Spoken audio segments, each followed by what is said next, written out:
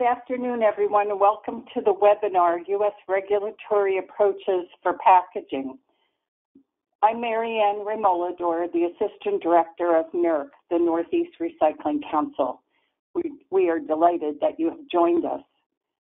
We have a few details to share with you before starting the webinar. First, everyone has been put on mute uh, to minimize background noise. We invite you to ask questions throughout the webinar. However, we will hold the questions to the uh, end of all of the speakers' time. And we'd like to let you know that the webinar is being recorded. The recording and the presentations will be available by tomorrow afternoon on NERC's website. And the way you would uh, find them is to go to the top banner at www.nerc.org and click on resources and then uh, select webinar. These instructions will be included in the message that you receive tomorrow as well. We have three wonderful speakers today who will share their perspectives and resources about regulatory approaches for packaging. Our first speaker is Cole Rosengren, Senior Editor of Waste Dive, who will provide an overview of the different strategies states have proposed around the nation to deal with packaging and how industry groups have responded. Following Cole is Heidi Sanborn, Executive Director of the National Stewardship Action Council, who will present California's proposed strategies and the implementation steps incorporated in their plan. And then we'll have Sarah Lakeman of the Sustainable Maine. She is the Sustainable Maine Project Director of the Natural Resources Council of Maine. And Sarah will present the specific of Maine's proposed strategies and their intended outcomes. So now I'd like to invite Cole to share his screen.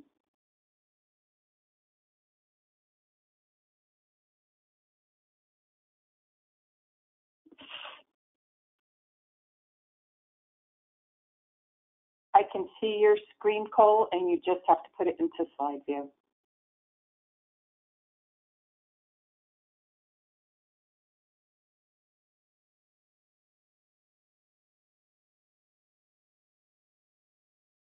All right, thank you, Marianne. Appreciate the opportunity to speak with everybody today. As outlined, uh, my job is to just kick us off with a basic overview of what has happened this year. It has been quite a busy year, and so if I've missed anything, please let me know, uh, either in the comments afterward or via email. We do our best to keep on track with all the various legislation, but there is a lot going on in 2019. A quick overview of what has passed already, to my knowledge. And again, um, this is not going to include any EPR for, uh, say, paint, pharmaceuticals, anything on those lines. We're just focusing on packaging.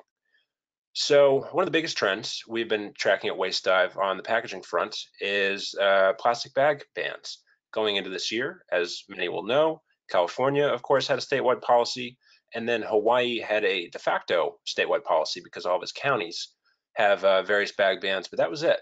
Nothing else had passed at the state level. Here we are now in September, and a lot has changed. Uh, New York was the first in April as part of its budget negotiations, passed a, uh, a ban on plastic fee on paper that finally allowed New York City to follow along with its own fee on paper. It had been uh, preempted by the state from doing so for multiple years. In June, we uh, had Maine follow suit. Vermont uh, was right after. I believe the bills might have actually been signed on the same day, actually. So New England came up in that. And then uh, Connecticut as well was next in July. Connecticut's was also passed as part of its budget process. Uh, that was a complicated fight around the bag ban in Connecticut. Anyone who's interested can find some details on Waste Dive. Uh, the question about compostable bags got wrapped up in that. I know not everyone who's involved is happy with the end result, but there is sort of a gradual implementation of a bag uh, policy coming in Connecticut now. Oregon as well signed its own policy, and then uh, Delaware was the last one. Their bill had passed earlier, but the governor chose to wait to sign it to tie it in with some uh, anti-litter initiatives that he signed over the summer. As far as who may be next uh, this year, the only one I'm aware of that could be close is Massachusetts, my home state. Uh, granted, though, given uh, a lot of the complexities around what has happened with that bill. It has changed quite a bit since it was introduced, uh, as well as our sort of different legislative calendar here in Massachusetts. Things uh, can drag on for longer. I have no sense of whether or not that will pass this year, but that's the only one I'm even seeing as a possibility. But either way, things have changed quite a bit from uh, two going into this year to the many that we have now. The other uh, issues we've been tracking on the packaging side uh, legislatively, uh, foam and straws. So uh, in May, Maine actually became the first state to ban polystyrene foam containers. Uh, Maryland followed uh, without the governor's signature. Actually, that just happened um, by default through the legislative process. In June, Vermont took its own steps on foam, straws, and plastic stirrers. And then uh, this is more just a cultural uh, and political uh, trend, but straws have really become the hot topic uh, this summer. President Trump is now selling them on his uh, reelection campaign website. A lot of the uh, candidates for the Democratic presidential nomination have been bringing it up during various media appearances, and they're even making an appearance on cable news. We have a picture here of Fox host Laura Ingraham standing by her straws and trying to drink uh, steak through the straws. So they're really uh, a touch point that I think we're going to keep seeing going forward, even more so than bags, perhaps. Straws are really the big thing people are focusing on right now in the packaging world. Though we all know, of course, that these are well uh, emblematic and important things to track, the bigger meat of it is coming with uh, EPR bills and various broader legislative uh, changes. And so bear with me, this is the list that perhaps may be incomplete. If I've missed anything, let me know. As far as we know, though, uh, Washington State is in the midst of a uh, plastic study group. That report is due next year, could potentially lead to some kind of producer responsibility structure. Uh, Maine, as we'll of course hear from Sarah later in the presentation, has passed its own EPR bill. Uh, that report, uh, or excuse me, proposed legislation is due by the end of this year. Vermont as well uh, is on a similar track with a working group report due by the end of the year. So we can expect um, some pretty tangible results from both Maine or Vermont. Uh, granted, we know working groups don't always lead to legislation, so we'll see what happens there. But the folks who are involved in these campaigns sound pretty confident, perhaps more so than in other states in the past.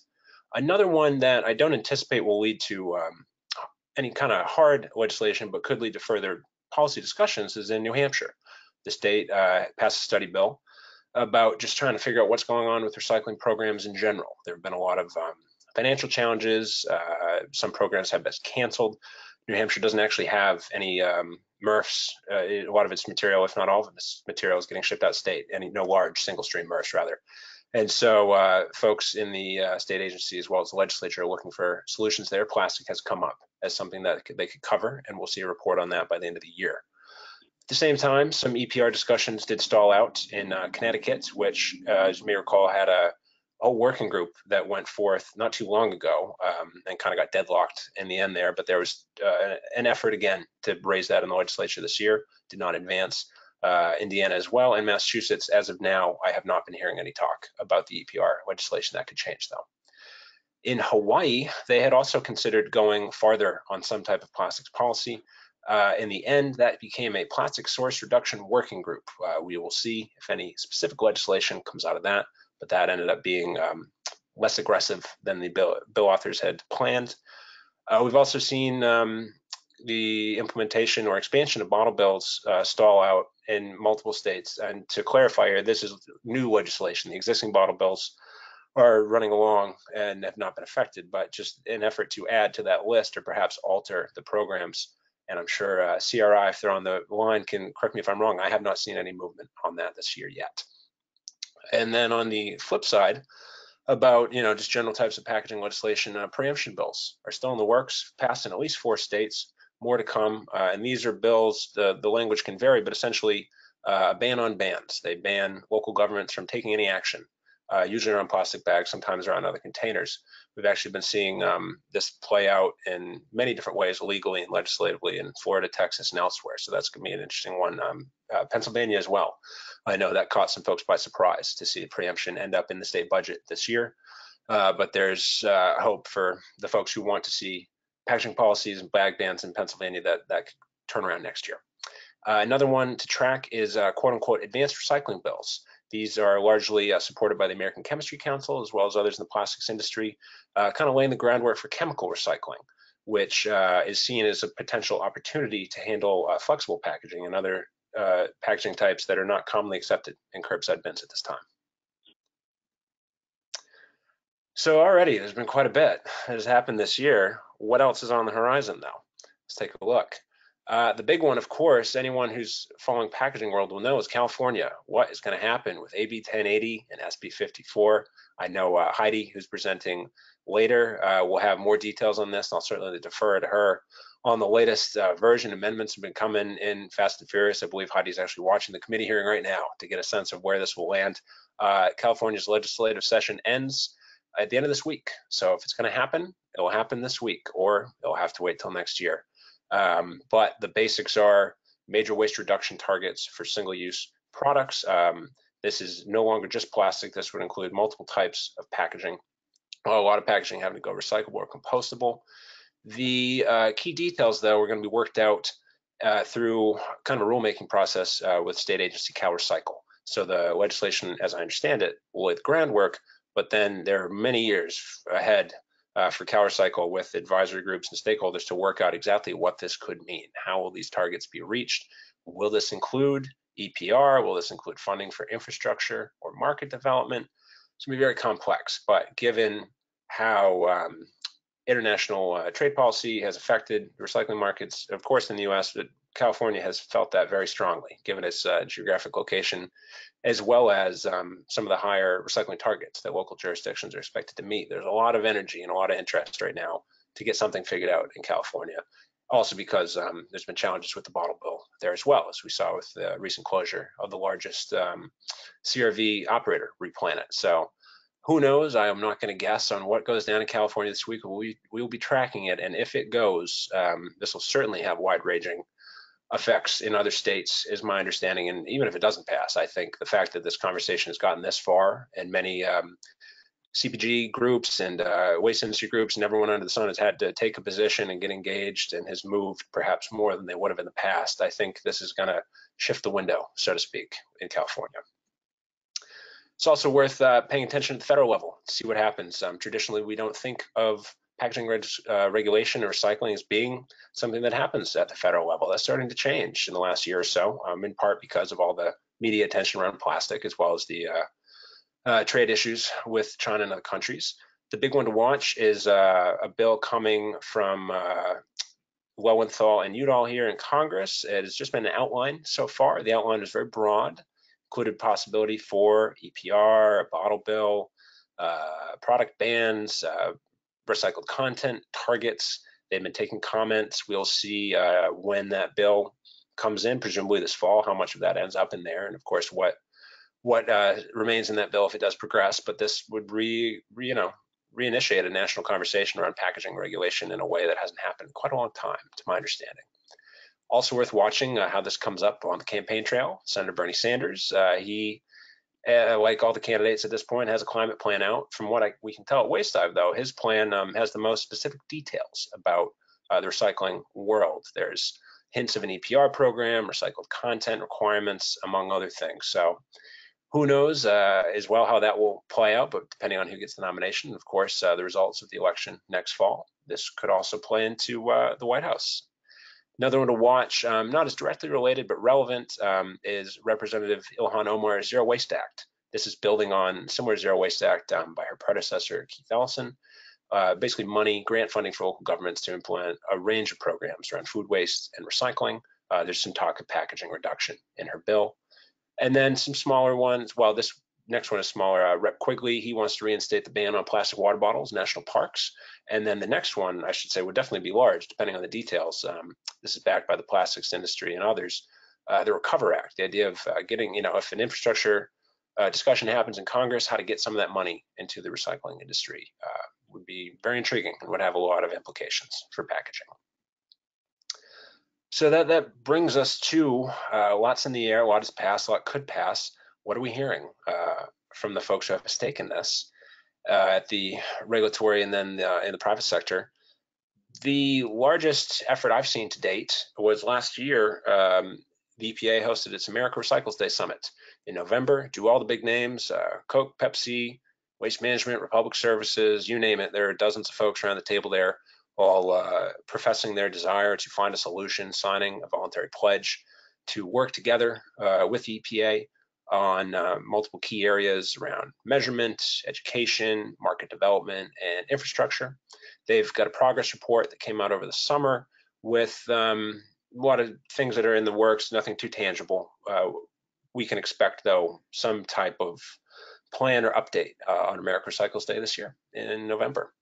Uh, and seeing increasingly ambitious targets from the consumer packaging companies. Um, a lot of goals, 2025, 2030, beyond uh, making, you know, packaging X percent recyclable by this date or using X percent recycled content or many other uh, large, lofty goals that will be interesting to see how they come to fruition and what that means. In terms of, you know, direct uh, financial support, uh, we're seeing a lot of um, voluntary initiatives, uh, funds going to groups such as the Recycling Partnership, Closed Loop Funds, Sustainable Packaging Coalition, Keep America Beautiful, who I recognize come at this from a, a lot of different perspectives, not to say they're all the same in one category, but essentially uh, manufacturers and some folks in the recycling industry saying, yes, we want to be involved, we want to influence this process outside of a regulatory structure, financially or you know through in-kind support.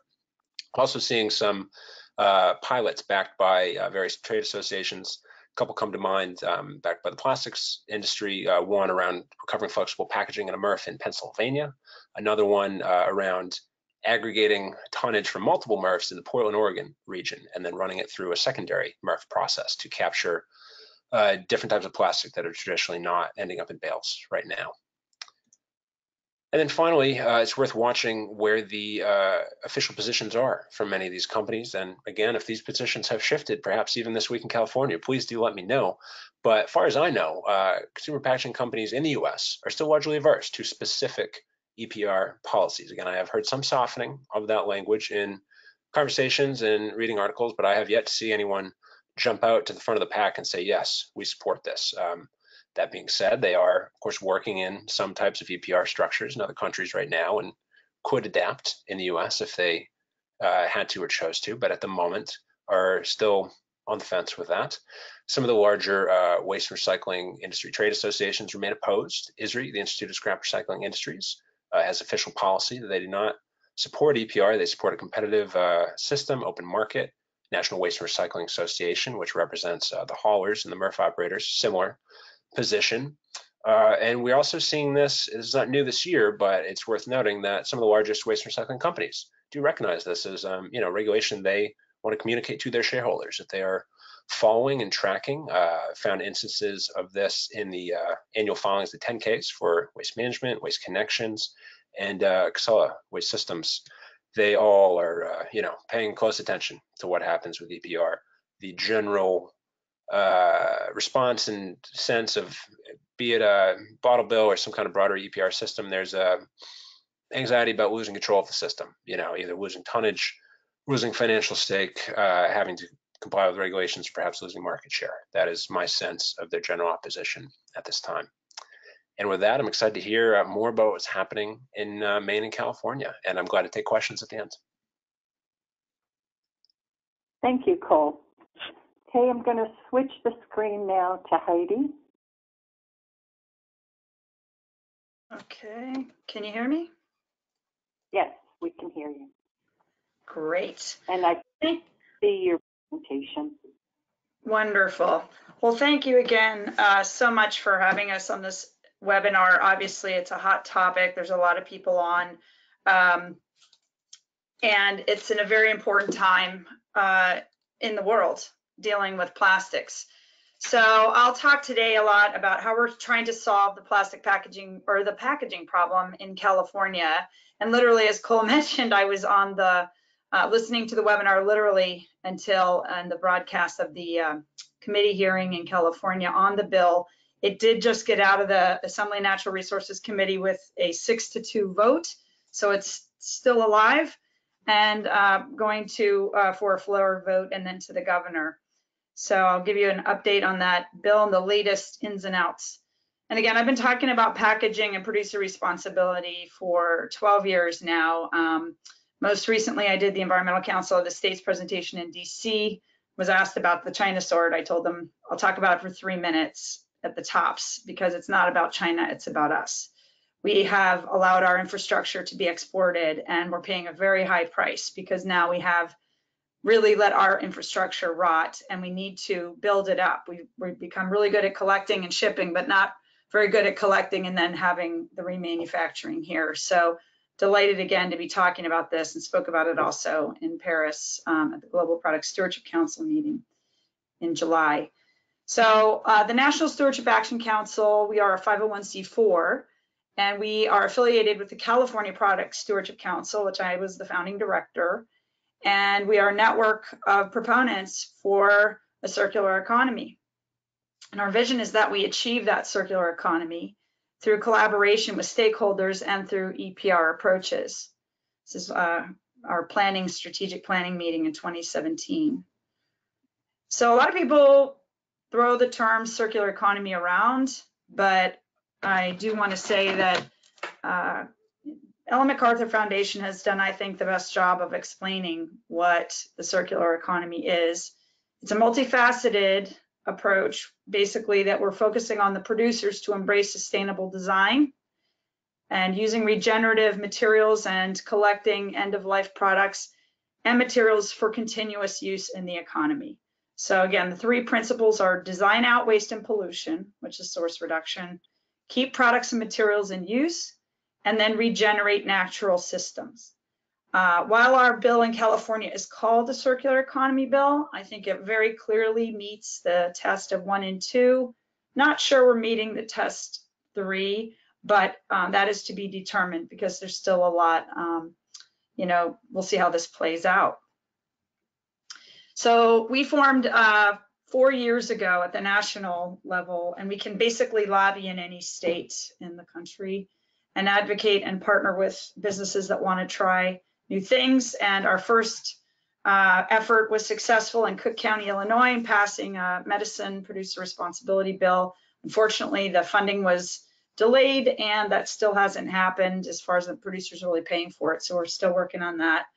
Uh, in 2017, we passed in California a carpet cleanup bill to an advanced recycling fee handed to industry program that was passed in 2010. But it was a very important, and I don't have time to get into the details of that. Um, but 2018 was our big EPR bill, first in the US, with the drug companies and needle manufacturers being responsible now for the whole state of California to implement safe medicine and needle collection and management and, and uh, also promote those programs. And then on the governor's desk now, we just got two bills to the governor's desk in the last two days. One is on household hazardous waste reuse and encouraging that a lot more, getting rules out of the way that prevented it. And then also uh, our second and last carpet cleanup bill, AB 729, to protect our California fee money. So if they lose control of the program from the industry, we can get that money back to California to fund our infrastructure. And I just want to say that when these bills are effective and work, they do drive jobs. We did end up with uh, Aquafil I'm there with the president on the left, uh, Giulio Bonazzi, and on the right, the president of um, the USA division. Uh, they're in Slovenia with their their zero emissions plant that's cradle to cradle that takes nylon fishnets, nylon carpet, nylon products of any type and makes them into pellets to be made into the next version of product. So these can work and help create infrastructure. And uh, obviously we, we need that in the US. So producer responsibility, what people refer to as producer responsibility, we have, it goes from really 100% producer funded to very little, if any, producer funding. And just quickly, I will say that, you know, there are people that call our bottle bill in California producer responsibility. It is absolutely not. They've got a small little payment to the program that does not at all fund it. They don't run it, they don't design it, none of that. Um, but then you've got those programs on the left, like we have for the pharmaceuticals and sharps I just talked about, where it's 100% industry funded, designed and operated, and the government just runs the over oversight. So it's a much smaller government approach, but you've got to give the government the tools to keep the programs working. So I just want to highlight that. Uh, so the first EPR program we passed in California was on mercury thermostats in 20, 2008. That was true EPR internalized costs. And the next big one, of course, was SB 212, the one I just spoke about with medications and sharps. And the ones in between are where our legislature, in my opinion, was not fully educated about what producer responsibility is. And they were trying new things, um, which we supported because we wanted to get things going. We did it on paint and carpet and mattresses, but all of these have had some level of issues when you hand a visible consumer fee to often out of state industry groups. How do you get your fee money back if you take control away from the program from those groups? How do you uh, do you prevent? Because this has happened to us with PaintCare, literally suing the state with the fee money because they don't like the oversight.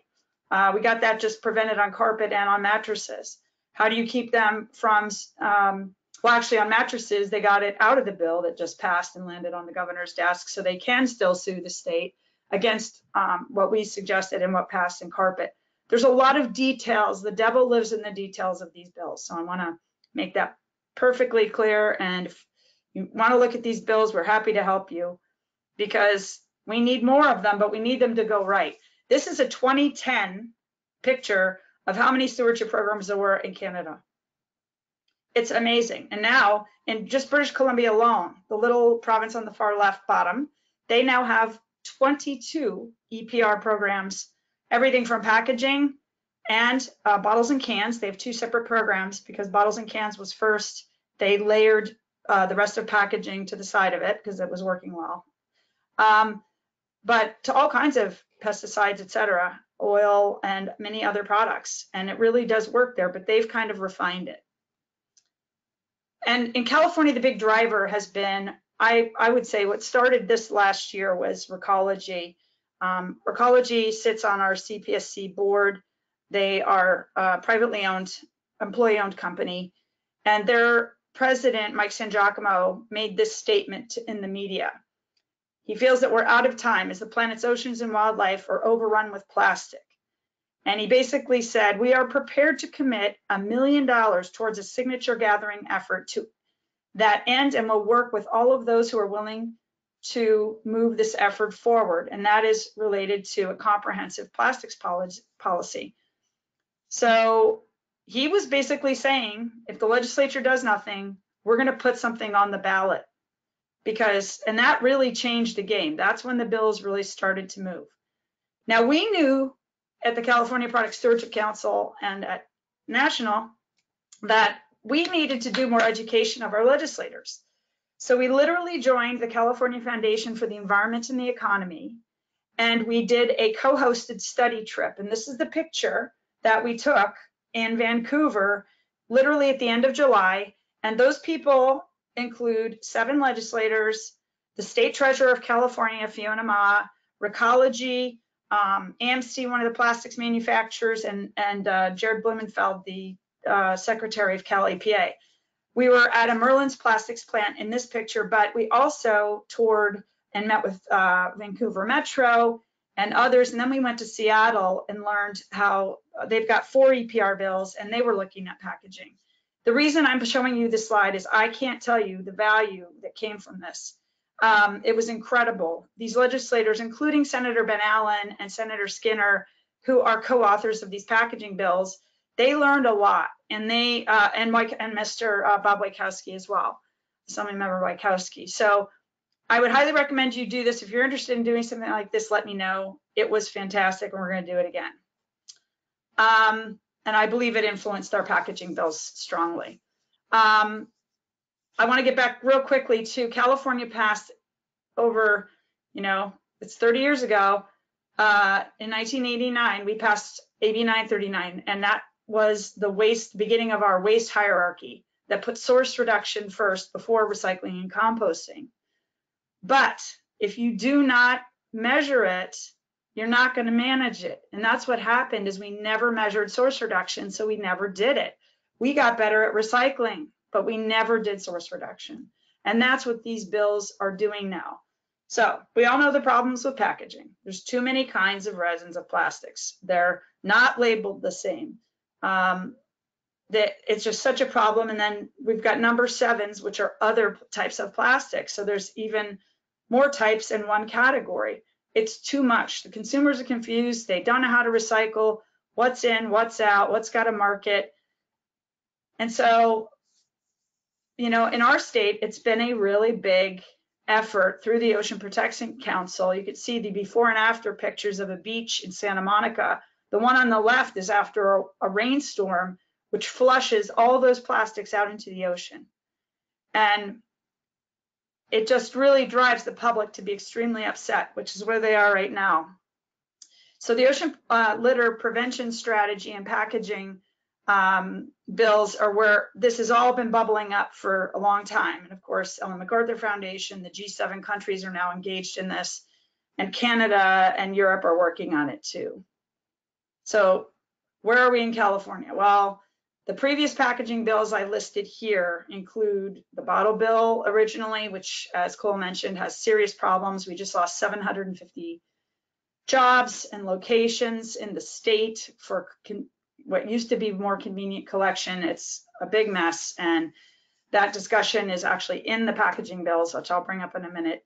And same with the rigid plastic packaging container law. Um, that was trying to get at source reduction, had some some impact certainly. Um, but that's also in the packaging law now, and I'll reference that in a minute. Then we, we did EPR for ag pesticide containers. Um, in 2008, a very focused group of containers impregnated with pesticides that you do not want to be have recycled into baby bottles and other things. Um, but that was the only EPR we did for packaging. There was a plastic bag ban. Uh, and then also last year, they passed a bill that requires any restaurant to ask or you have to request a plastic straw if you if you want one and that has raised a lot of awareness so what we've got now is AB 54 and AB 1080 they are companion bills obviously one's oh and I put AB it should have been SB 54 Senator Allen sorry about that um, but so they're companion bills on other sides of the um, shoot I'm sorry not plan on that happening in the middle of my call. Um, so we had uh, companion bills in the different houses, and they are exactly the same. Um, and that was to make sure if one got stuck, the other would keep moving. And they were amended as late as yesterday. So I've I was up late and early this morning trying to update this PowerPoint for you to make sure I was completely clear on what the bills were doing um, they have to be to the governor basically by midnight Friday. And if, and that, because they were amended yesterday, they have to go all the way back to the original policy committees, which is where they, the uh, SB 54 was just heard this morning, right before this webinar and got out with a 6-2 vote because it had to go all the way back through that policy committee. And I can talk a little bit about um, the testimony and the support and opposition. But there are many, many, many groups working in support of these bills. It's been a very, very heavy lift. Um, it's huge, massive, and everybody's really trying to come together to make it work. And I'm very, very proud of all these groups. Uh, the opposition is very limited, really. Um, and I'll talk in a minute about about what they're. Uh, uh Cole actually mentioned the key issues that they're bringing up. The haul, the haulers are split. Um, we've got uh, Republic testified in support today. And then we had um, the small haulers, California uh, Refuse Recycling Council actually testify in opposition. They don't want to be in opposition, but they're very worried about EPR, as Cole mentioned. But look at all these amendments and look at all these authors. That's a lot of authors. So that tells you this has a lot of traction. Um, I'm giving this, um, it's, it's a good probably over, it's probably 60% chance this is going to go right now uh, and get to the governor and get signed because CalRecycle testified at the hearing just an hour ago that they can implement this bill. So what does it do? It's called the California Circular Economy and Pollution Prevention Act. And the general requirements are that it's going to impose a comprehensive regulatory scheme on the producers, retailers, and wholesalers of single-use packaging and priority single-use products to be administered by CalRecycle. It requires producers to source reduce single-use packaging and priority single-use products.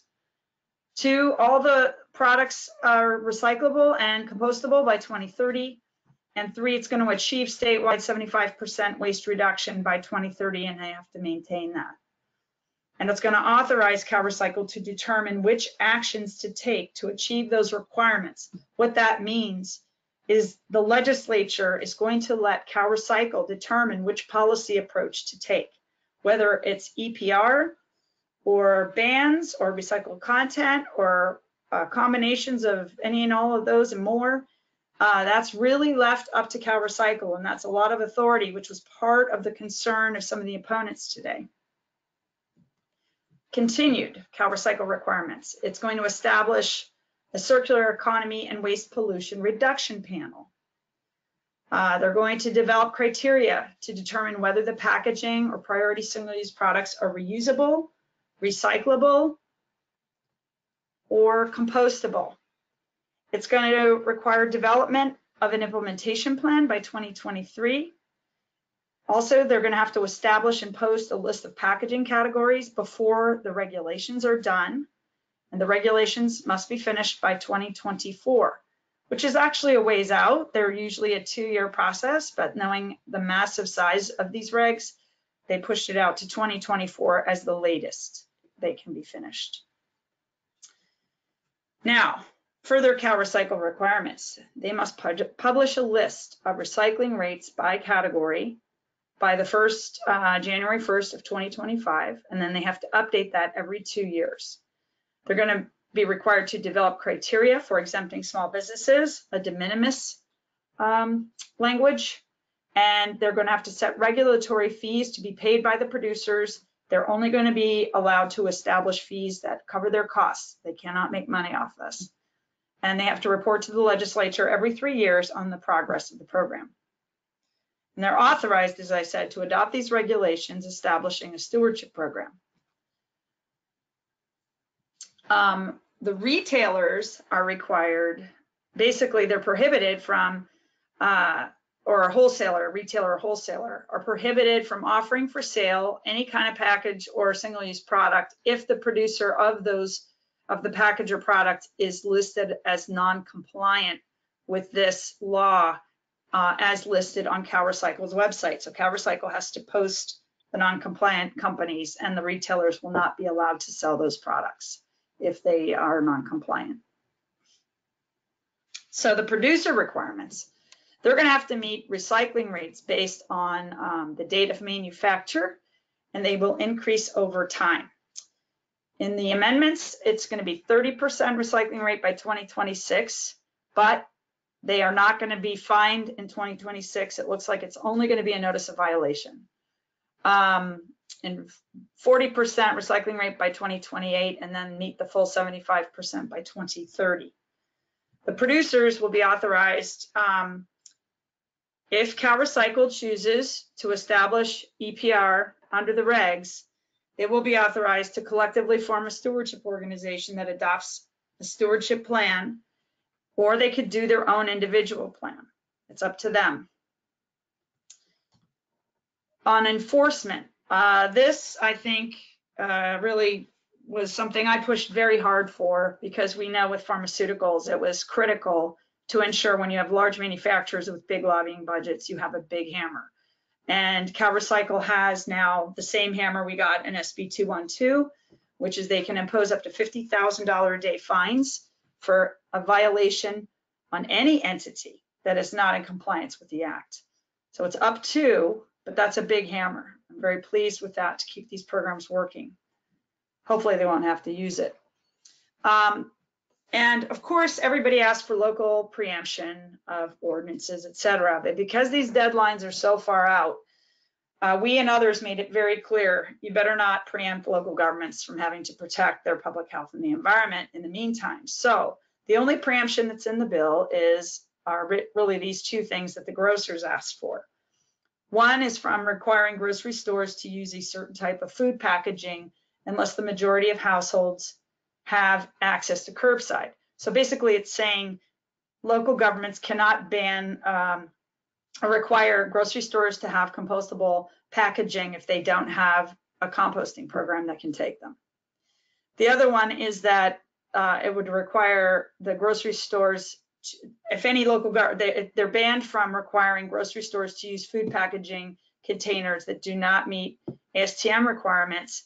And what we got in the bill and fought very hard for, and we're delighted the authors accepted it, was that um, this does not prohibit a local agency from requiring grocery stores to use food packaging that's refillable and reusable.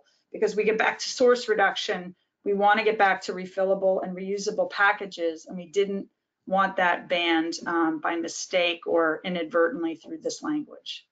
So that's in the bill. So what's next? Uh, as Cole said, we've got national legislation. We're working with Senator Udall and Alan Lowenthal, uh, Representative Lowenthal's office. He, Mr. Lowenthal, came from Long Beach, California, so we know him well. Um, been working with them on this and provided comments on their bill that's coming.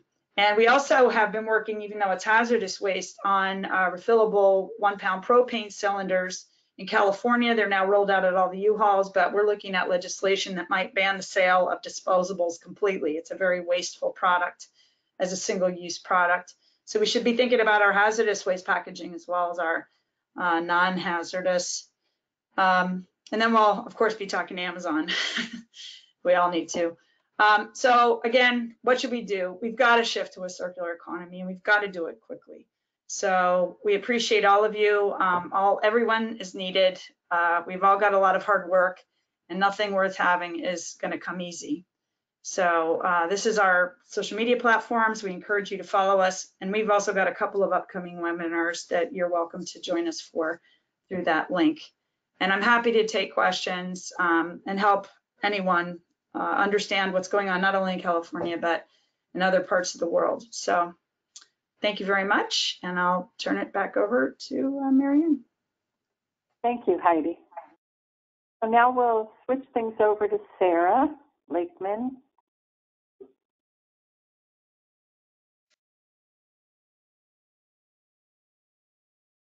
All right. Can you hear me? Sarah, you're good to go. Great. Thank you so much. Um, so thank you to NERC and um, for the invitation to present and thanks to you all for taking time out of your day to listen to this webinar. Um, EPR for packaging has been on my and NRCM's um, more long-term policy wish list for many years uh, because it conceptually makes so much more sense than how we currently approach recycling in Maine and elsewhere. Um, but circumstances being what they are, and um, you know, watching Maine's municipal recycling programs struggle and many fall apart, uh, we feel that it's time to really expedite the process and pass it in Maine as soon as possible. So I'm really excited to fill you all in on what we've been doing here. Okay, so for my presentation, I'm going to start with a few slides uh, that provide some context for EPR in Maine, and then we can spend a little time in the weeds and talk about the details of what our proposal is shaping up to look like. And then I'll describe a bit more about why this policy is the way to go and how people are reacting to it so far in Maine. So this slide um, lists Maine's existing EPR programs dating back over 40 years, uh, beginning with our bottle bill. Um, so as you can see, this concept that Maine people, municipalities, decision makers, and our Department of Environmental Protection, our DEP, um, are very familiar with. Uh, it's actually part of my job to um, monitor uh, these programs and suggest new programs um, for Maine. Okay, so um, in fact, we're so invested in this policy approach that we have a rather unique framework law in place that establishes that it is a policy of the state to use EPR if certain criteria are met. Um, basically, if a product category like packaging, for instance, is toxic, um, if voluntary efforts to collect and recycle aren't effective, um, if it would reduce costs to local governments and it's been successful in other jurisdictions, then that product category is a prime candidate. Um, one of the best parts about this framework law is that it establishes an annual report to the legislature by DEP that evaluates all the existing programs and provides a means for our Environment and Natural Resources Committee uh, to introduce legislation to fix any programs or to propose new product categories as recommended by the DEP. So um, in the 2019 annual report, which you can Google or I'm happy to send to you, um, the DP has an in-depth section regarding packaging as a prime candidate and their recommendation that the legislature add it to our um, EPR policy suite in Maine. let's see. Okay, so uh, this year there was a flurry of activity um, during the first half of the 2019-2020 legislative session. Um, right now, the legislature is adjourned, but we'll come back in January to finish out the two-year session. Um, and I will say we were uh, active on um, actively participating in the plastic bag ban and foam ban that passed this year. I'm just here including um, the EPR programs. So I wish that I could talk about each of these uh, policy proposals more, but I'm going to focus um, just on LD 1431, um, which is the resolve to support municipal recycling programs and why we're all here. Um, I will note that this was a separate bill and um, not a bill that was born out of the DEP's annual report to the legislature that I was just talking about. Uh, they happen to complement complement each other quite nicely though. Okay, so uh, this resolve bill is different than a resolution, um, you know, where a government entity can just declare support for something. This resolve is a bill that requires further action and specific action in this case, which is to require that Maine's DEP present full statutory language that would establish an EPR law for packaging and present it to the committee by December 16th. Um, the resolve bill, which you can read online or I can send to you, um, provides a general framework that DEP must use at a minimum, which includes that the proposal be a shared responsibility model between municipalities and producers over a full responsibility model. Um, this is a significant detail, um, as uh, many of you are aware, and uh, this approach is right for Maine because it would be far less disruptive to existing infrastructure, um, existing investment, and contracts with haulers and waste facilities. Um, we also feel that uh, the shared approach would provide more transparency and accountability. Um, and I'll talk more about this and the eco-modulated fees in a bit more detail. Um, so there was a public hearing in which many municipalities, um, municipal association, environmental organizations, recycling facilities came in support. Um, it passed the committee and legislature unanimously, and the governor signed it. Um, and I do encourage you to visit the bill page to read the full language and all the uh, testimony materials, um, as well as the 2019 uh, product stewardship report if you want to know more details about how we got here. Um, okay, so that bill's led to what's happening now. Set a few things in motion, so you can imagine, um, and basically indicated to everyone that the state of Maine is serious about passing an EPR for packaging law out, as outlined by the resolve. Um, so the our DEP is tasked with the hardest job of writing the bill, um, but they have decades of experience and our framework law to guide them, um, and they're currently holding meetings throughout the state and have invited all stakeholders to comment and provide feedback on their approach. Um, NRCM, um, as the state's leading environmental advocacy organization and instigator behind LD 1431, we have rolled out our uh, Recycling Reform for Maine campaign, which I'll tell you more about in a bit. Um, and also the Maine Municipal Association is very engaged and is hosting a meeting for all municipal officials at the end of the month. So now to my favorite part, um, the weeds, um, and I hope that you all like to geek out about it as much as I do. So let's see, we'll start with uh, bottle bill. So LD 1431 already specified that our EPR for packaging law cannot include beverage containers that are already being recovered and recycled through our bottle bill program. Um, Maine's program is very successful and really part of our culture here. Um, the deposit return program yields a very high return rate, high quality materials that the markets depend on, and many businesses um, small businesses throughout the state rely on this program as well. Um, conceptually, there is no way that taking these containers out of the program and putting them into an EPR program would increase return rates or quality, um, and instead it would likely have the opposite effect. So this is why beverage containers must remain separate as they have been for over 40 years. Um, and I do also want to say thank goodness for the bottle bill because that is the only recycling program available in a growing number of Maine towns. Okay, so um, LD 1431 also mandates uh, eco-modulated fee structure. So this is really important. Um, you know, a cost shift away from municipalities and taxpayers and towards the producers of the problem is only part of the solution. Um, but how producers pay into the system is really where the magic happens um, and how we can begin to tackle um, some of the biggest problems with how we currently approach recycling. So these, uh, this type of fee structure basically means that we want to set fees in a way that encourages waste reduction, reuse, and recycling, um, either through bonuses for doing the right things or penalties for doing the wrong things. Um, the producer responsibility organization, which I usually refer to as a PRO, um, would set the level of the fees, but our statute could dictate how they do that. Um, DEP hasn't released the exact language for this section yet, but um, what I've described here on the slide is what we've recommended that they include. Um, and I will also note that uh, the statute, if passed, would prescribe this type of fee structure, and then the PRO would have to come up with a more specific fee setting proposal uh, that would have to be approved by the DEP for more uh, before implementation. So there's a system of kind of a, a check system there. Okay, so um, you know, ensuring the right things happen um, brings me to this slide. So uh, Maine's EPR packaging program will need to have a great deal of transparency and data collection so that we can ensure its effectiveness. Um, you know, studying EPR for packaging policies in other jurisdictions around the world, um, we've really identified this as a common problem that we want to avoid in Maine. Um, so we're really eager to see DEP's proposed statutory language that ensures the gathering of clear and transparent data that will include at a minimum um, regular waste characterization studies for uh, trash, recycling, litter, um, and these audits must be paid for by the PRO and organized by container type, material type, and brand.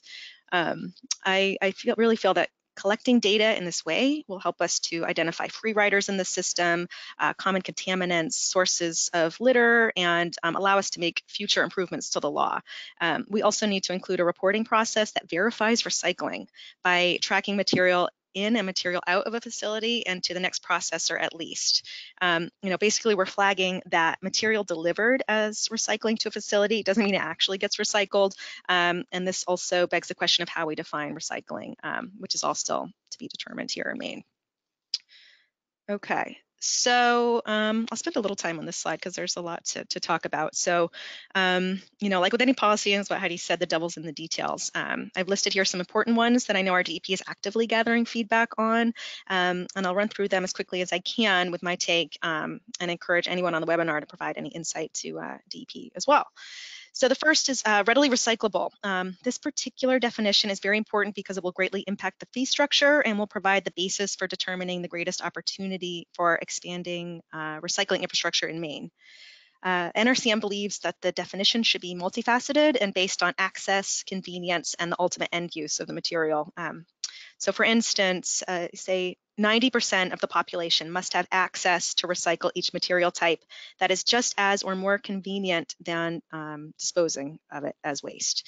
Um, and two, that the material type is third-party verified to have been recycled um, as defined by the department. We don't know what that definition is yet. Um, and we feel it's very important to make sure that the recyclable definition uh, applies to the whole state and not just to percent of population, um, which is a is a common flaw uh, with how it's treated now.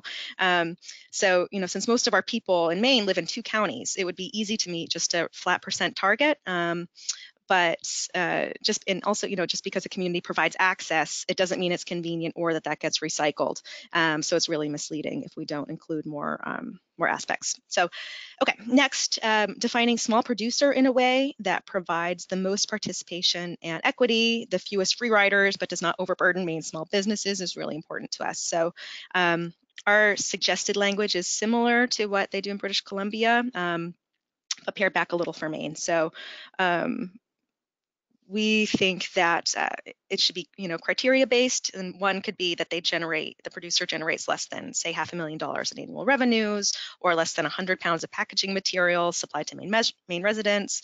Um, they operate as a single point of retail sale and are not supplied by or operated as part of a franchise or um, or a registered charity.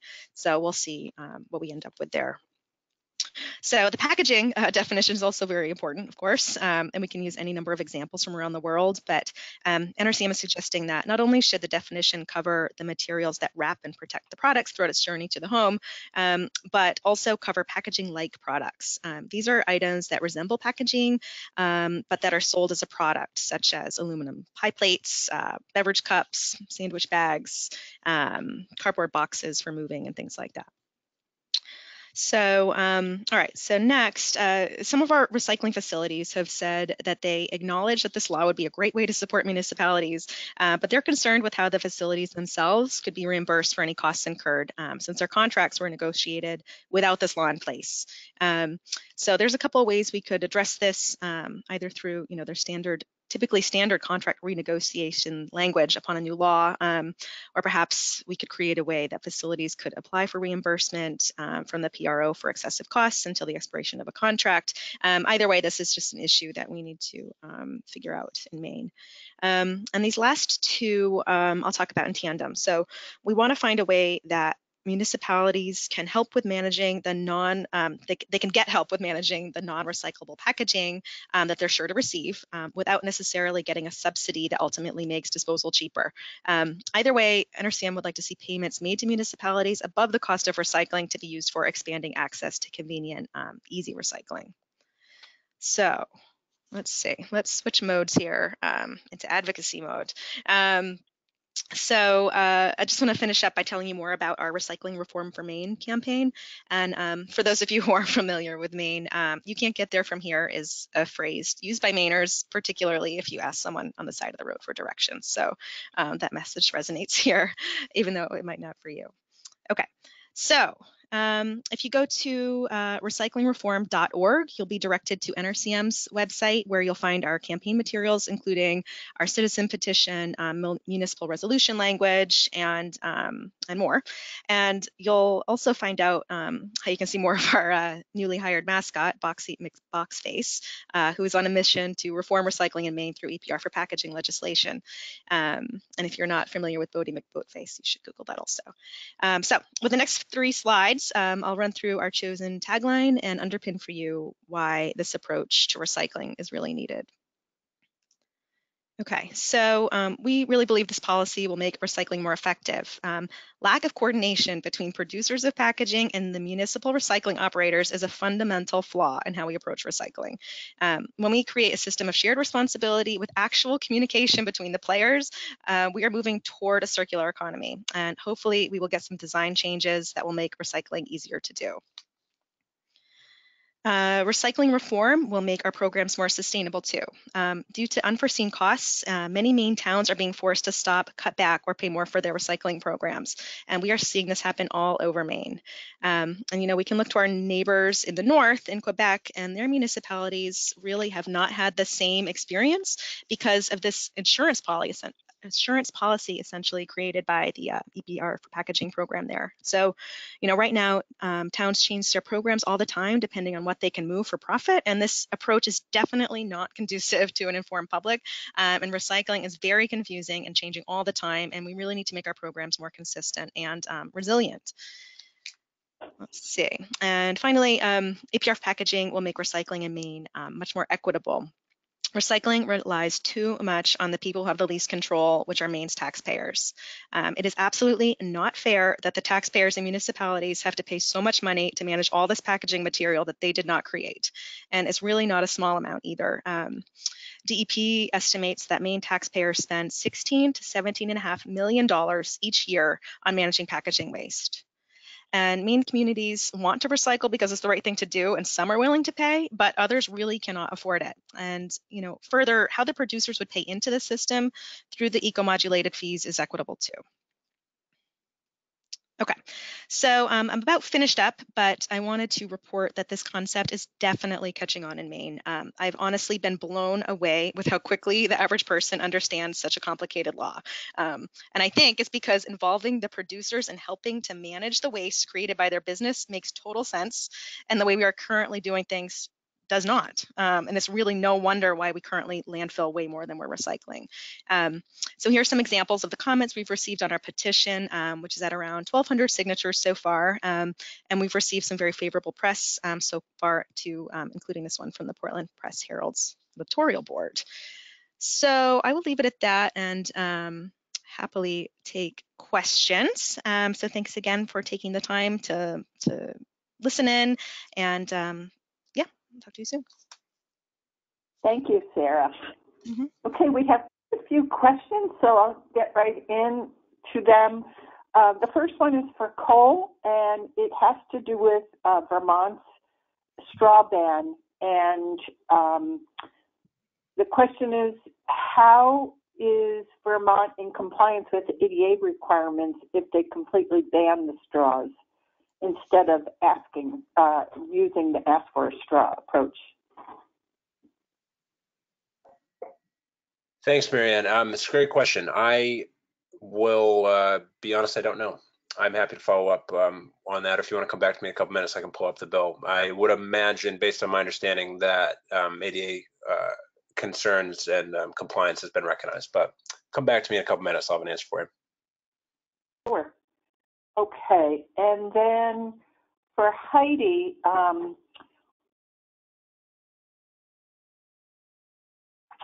does the, the bill, and I'm assuming it was the last bill that you referred to, define recycling and recycling rate? And how will it be measured? Okay, I've got the bill right in front of me. So let me take a look because again, everything has been moving at lightning speed. Um, It might, let me see, okay, so I'm in the definitions section. Does it define recycling? And then source reduction is defined.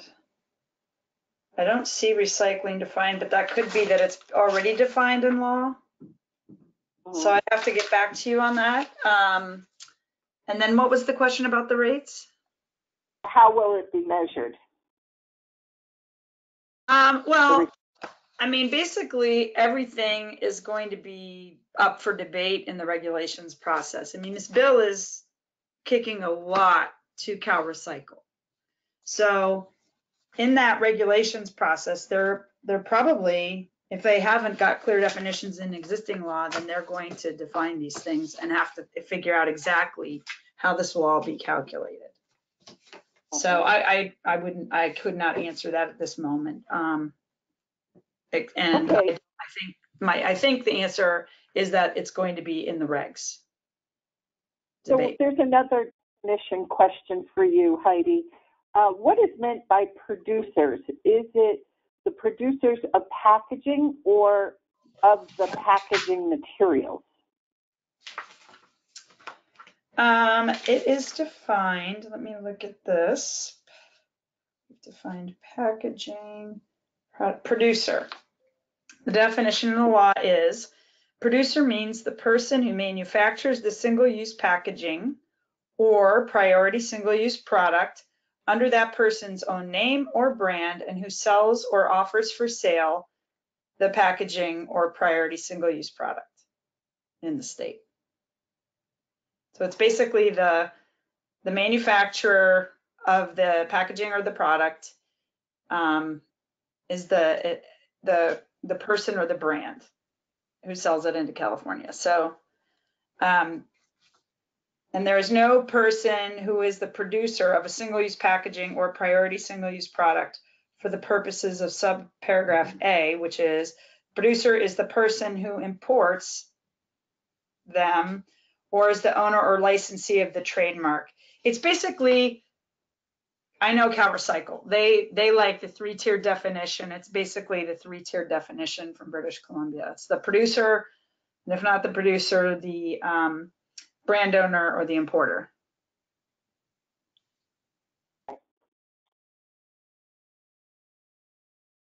Are, what EPR bills would you consider to be great bills? And I'll leave this open to any of you to respond to. I can say this, Heidi, since I, I'm just one, it's, our SB 212 was an amazing bill. And to me, that's a true EPR bill that has internalized costs, strong enforcement, um, producers design, run, uh, and promote the program. And the government does their role, which is uh, set the performance standards, uh, ensure transparency, and uh, provide oversight and enforcement. And Cole or Sarah, do you want to add to that? Um, sure. Well, this is Sarah. Um, thinking about Maine, um, our, our PaintCare program is uh, relatively new compared to our other programs, but I think you know it's it's it's really being it's successful, and I think one of the key things about it is that the industry really came forward and helped to um, shape it in a way so that it would be successful, and they were totally on board. So I think that that really made um, a big a big difference for that program. And this is Heidi, if I could build off of what uh, Sarah said, it's important to note though that like in California, we were the first ones to pass it without a sunset and they did. And while it's the best uh, visible fee program for sure, it um, we did have some early bumps with contracting. And then we also had a big bump when we didn't think it was right that they sued the state because they didn't like the oversight regs and then paid for also the state to defend that uh, lawsuit, and then they appealed it and paid for both sides again out of the fee. I would encourage everybody, if you're even thinking about using a visible fee program, to make sure that you talk to me and get the parameters set up for how they can use that money. Because if you don't, that might happen to you too. And I've already flagged that I might want to amend that bill, so we'll talk. Yeah, there's more than that. too. So let's, All right. Or amend that. And section. Sarah, um, question for you regarding Maine's approach. Will the bill standardize the list of materials to be collected? And a second part, how will fragmentation be avoided? Um, standardize the, the materials collected. Um, I don't suspect, I don't know, I don't think it would be something that would be put in the statutory language. Um, that strikes me as something that would be put in the program plan that the product uh, producer responsibility organization would have to present back to DEP. Um, because that's going to change and you don't want to have to change the statute every single time. Um, and how those, but the statute could dictate how that list is created. Um, for me, I think it's necessary that the facilities that are in Maine collecting the material be part of that um, discussion in a way that they are not right now. Okay.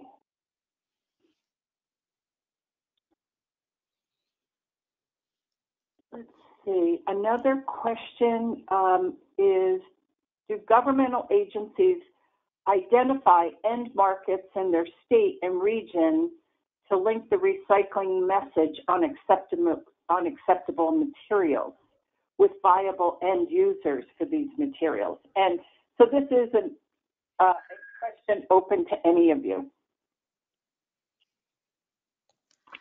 can you repeat it? I'm not sure I understand what the question is. Are government agencies connecting to the end markets?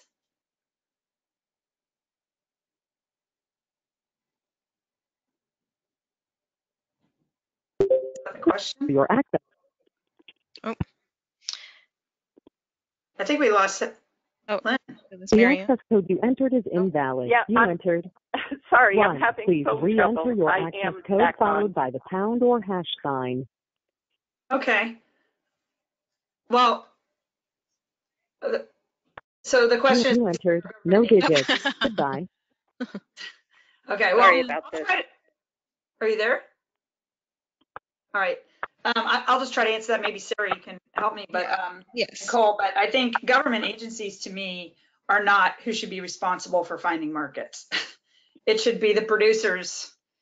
And that's why the one thing um, our current bill does not have is funding unless it's a pure EPR approach that CalRecycle chooses, there's no funding. And there was a discussion at the hearing this morning about how are they going to fund infrastructure and they need a separate bill. And I was thinking to myself, no, because producers should be helping they need to make sure there's infrastructure. If they're selling something, they need to make sure that there's a closed loop. And that means they need to be looking to make sure that there is recycling and processing and remanufacturing for their products.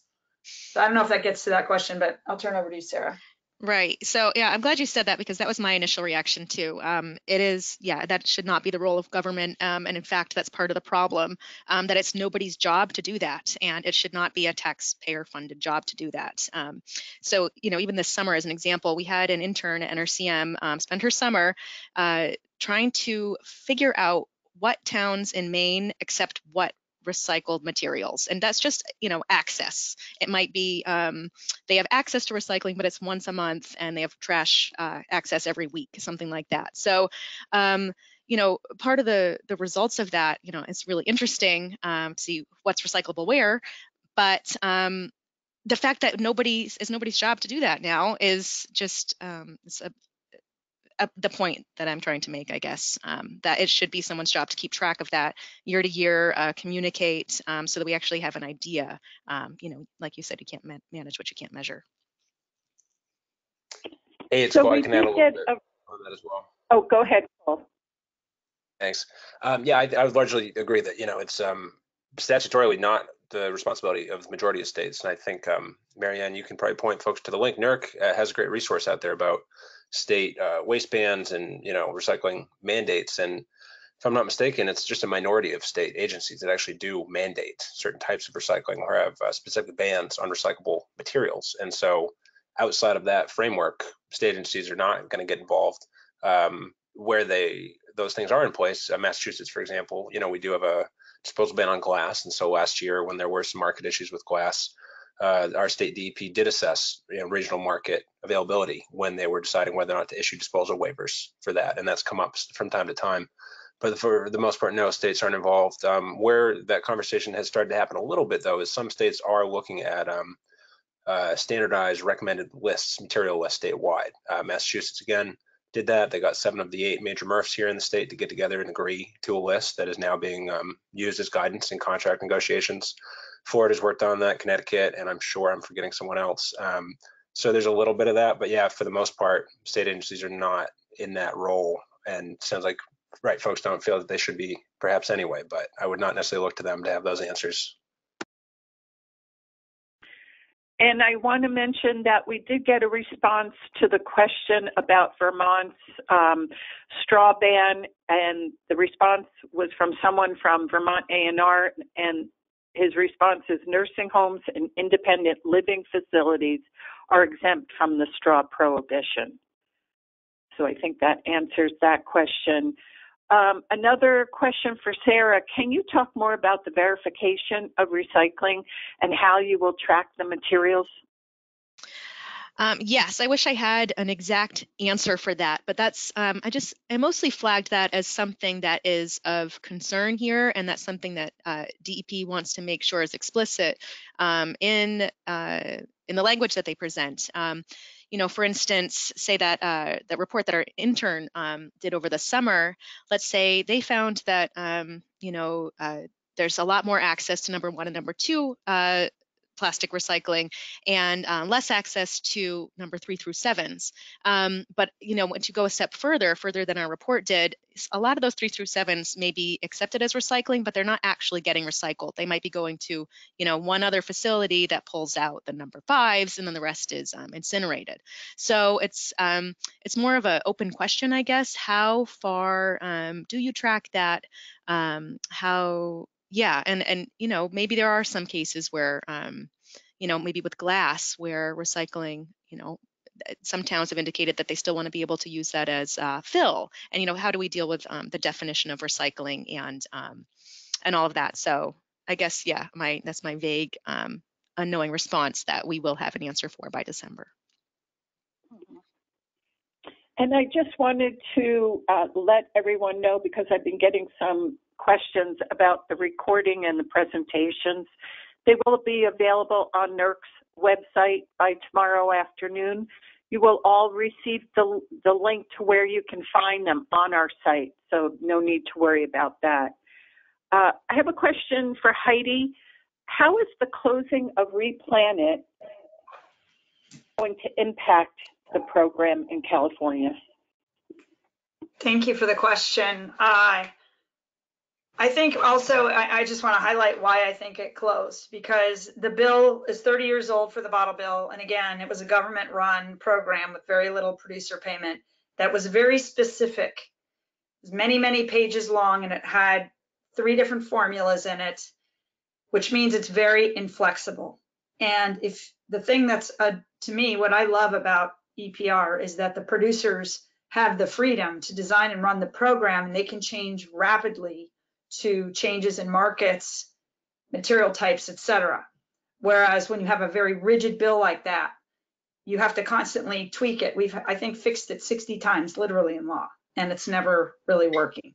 So um, the what what it did was it, I think, has given an extra push to getting these bills passed into the governor because everybody realizes we're in a crisis. We just lost so many recycling centers. The public cannot get their deposits back. And the places where they can get them back are now so overwhelmed with people coming in that they've literally, some of them have had to stop taking it because it was causing traffic problems. Um, we have in this current bill, some of the new last minute language that got added actually were big amendments on pack on these bottles and cans. So one of them is uh, addressing our Alcoholic Beverage Control Act and actually um, says that the act uh, now authorizes the department to suspend or revoke the certificate of compliance um, if with the our existing uh, laws on beverage uh, if they're not complying with this litter reduction act. It also uh, changed at the last minute the authority. Um, it said specifically you could roll the existing R rigid plastic packaging uh, container, the RPPC law, into CalRecycle could choose to roll it into whatever uh, program they decide to implement through the regs. But it did also then, so that would include the bottle bill too. But now the legislation says that it is um, not going to allow the bottle bill to be rolled into uh, this program until 2026. So, um, and I'm literally looking at the bill because everything has changed so quickly. But that that is another very big change. Um, and yeah, so January 1 of 2026, beverage containers subject to the Beverage Container Recycling and Litter Reduction Act um, will not be rolled into this program until 2026. So that how it's changed our discussion is one, everybody's feeling pressure, including the legislators. Uh, the public is upset and they're telling their legislators. So it's helped really spawn keeping this bill moving. But now, you know, the legislators obviously are concerned and even said at the hearing today that, you know, there's so many moving parts. They're afraid they're going to do it wrong, but they're also afraid of not doing anything. So uh, we, again, encourage them to pass this legislation. And if there's needs to be tweaks later, let there be tweaks later. On big bills, you always have them. But um, generally, it's really going in the right direction, we think. I have a question for Sarah. Could you describe the process or the direction for determining the modulated fees? Um, sure. Well, again, that's going to be something um, that I will not have a super clear answer to. Um, the, the the the bill that the DEP comes out with um, basically needs to be relatively prescriptive um, in the intent of what the the purpose of the fees are um, based on certain criteria, say that I listed in my um, in my slide there.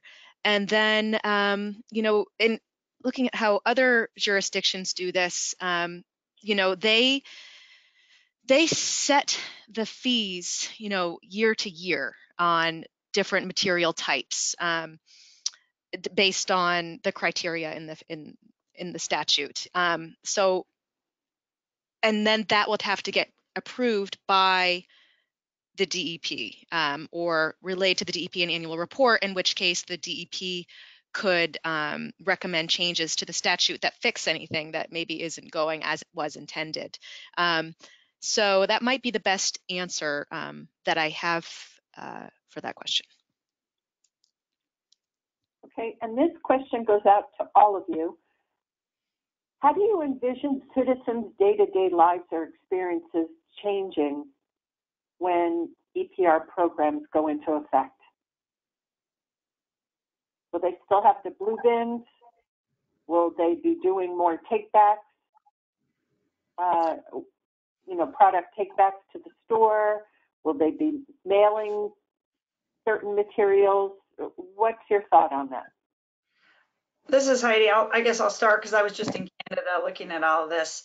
Um, one of the things that they they have found in British Columbia, where they have 22 EPR programs for everything from lawn equipment to large appliances and bottles and cans, is often the public has no idea the producers are running the program.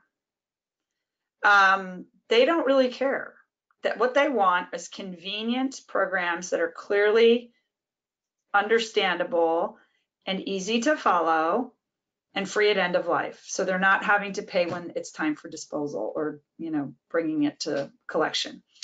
Um, so I think it's really going to vary among, uh, if, if we're speaking specifically on packaging, I think what they're going to see in the long term, not necessarily in the short term, is that they're going to have a lot less variety of packaging. And that will be a good thing because they have been very, very confused over all this uh, labeling and the chasing arrows that implies it's recyclable and there's no place to recycle it and it's not got a market. I think the labeling is going to get a lot better really fast.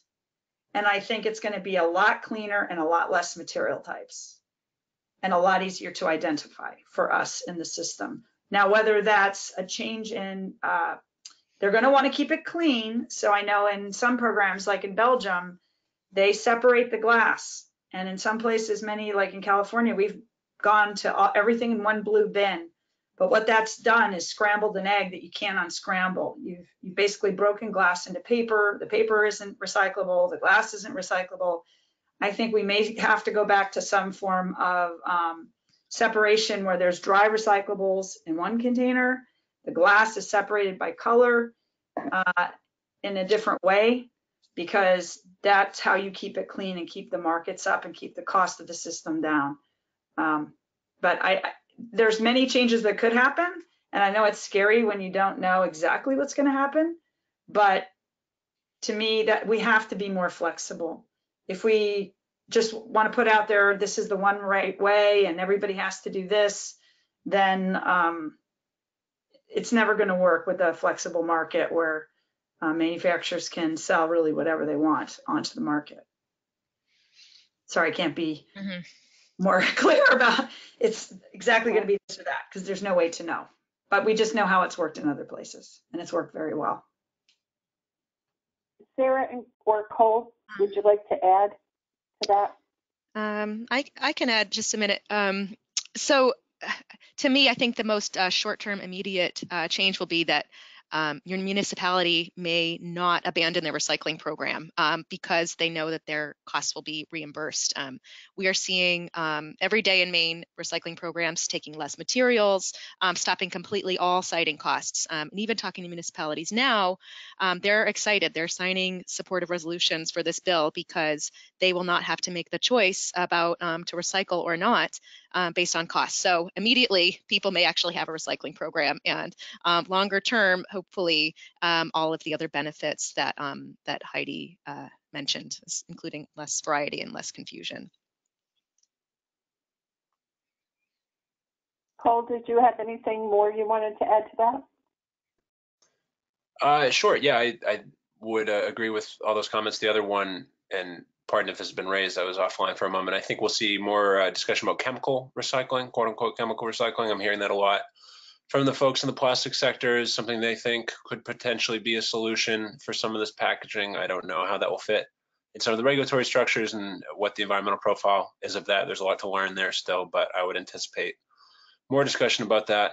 Um, and yeah, it would be it would be very interesting to see the cost structures here. Um, the other thing it, I would say is uh, more to come in other states, obviously. Uh, you know, if, uh, as we see what plays out in New England as well as California, uh, I would anticipate more states will follow in the uh, legislative session next year. I'm already hearing um, that's very likely. The, the next question uh, really goes out to all of you.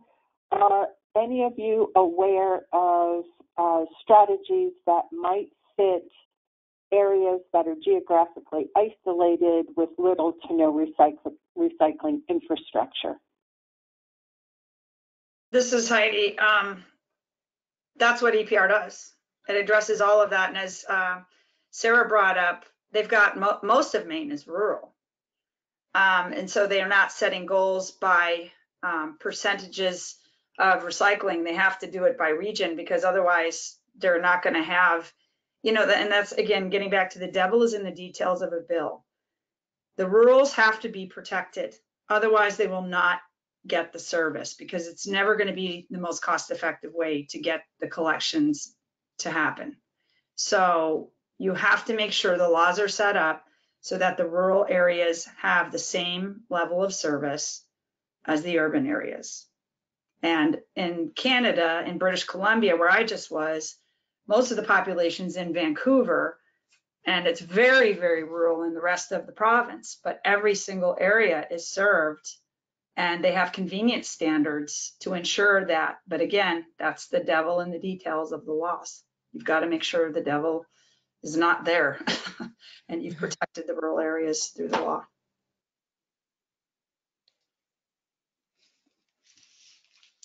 Sarah, did you want to add to that? Um, no, I think that Heidi, um, yeah, summed up what I was going to say. Um, you know, and I will say, even talking to municipalities and municipal association, that um, is a huge issue for them. They want to make sure that it's um, equitable and um, that acts and that access is definitely definitely a part of um, this uh, proposal.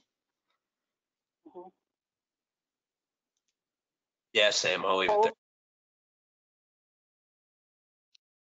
I'm sorry, repeat, repeat that, Cole? I was just gonna, I'll, I'll leave it there. I think they've covered it well. Okay. So the next question is, um, how do the EPR approaches address imported packaging um, and enforce compliance when the packaging producers are from outside of the country? This is Heidi. I can take that. Um, you guys can build on it, but it's it's very easy. I mean, basically, we we know when things cross our financial borders, whether it's a catalytic converter to be put on a car in California or whether something got shipped in and sold in California, and that's why um, the law, as we have it written, it will allow the state to um, ban, uh, you know, take some of these beer products off of the of being certified to be sold in California. Um, so we know it doesn't matter where they make it; it's where it's sold. And if it's sold in your state, you have the authority and you know how to track it. Your finance department does it for taxes and everything else. You know when it crosses that line, and then you can impose fines. Or you can ban them from selling altogether, which is what we're doing in our bill. It actually, uh, in California, I shouldn't say our bill like we were running it again, it's author sponsored bills, but the way they've set it up is there's registration with the state. Um, they have to pay into it. If they uh, fail to meet the performance standards in the program, the state will put up a list of non-compliant companies. Doesn't matter where they are, just matters where they're selling, and that's in, in California. And then the retailers cannot sell those products on that list. They have to look. So uh, that that's how we're doing it in our bill. Right. So um, I can build off that, Heidi. I um, th that's pretty much what I was going to say. It's uh, easy, especially because you're already tracking it um, from the financial borders. I like that term. Um, but uh, it's typically in the other product stewardship programs, um, it, it's relatively self-regulating too. Um, producers that pay into a system don't want free riders paying in. Um, and some of our other programs uh, have language in there that they're they're entitled to have a, a, you know private right of action that they could sue other companies who aren't paying into the system. So um, that's just something I would add to what Heidi said. Okay. And then one last question, and this one's for Sarah. Sarah, what is the proposed cost share formula between producers and local governments? Um, that's a good question. So the um, the resolve bill said that DEP needs to propose um, statutory language that has the producers paying at least 80% of the costs. And um, so it could be 80 or it could be um, anywhere between there and 100. And um, what, what I saw the last concept um, released by DEP that they were considering more um, more on the 100% reimbursement. Um, and the reason that it was back at 80 is because they, uh, you know, it, it's a great idea to have the municipalities have some sort of skin in the game so that they are um, incentivized to have an efficient program. Um, so you can't just have this, you know, huge contract that you give out to someone you know and get it reimbursed, um, you know, to avoid things like that. So that, that's the reason why it was at 80. And if you do it um, at 100% and then instead have municipalities reimbursed, um, not by their actual cost, but by an average cost, this is something that they do in Quebec, um, so that um, municipalities who have a really efficient system, maybe below average cost system, may actually get a little bit more than they actually spent. And then the municipalities who have a really inefficient, expensive program would have to pay to have that inefficient um, system. Okay. I know I said that was the last question, but another one came in and we haven't talked about it yet. And this one is for Heidi. How will the California bill accommodate e-commerce?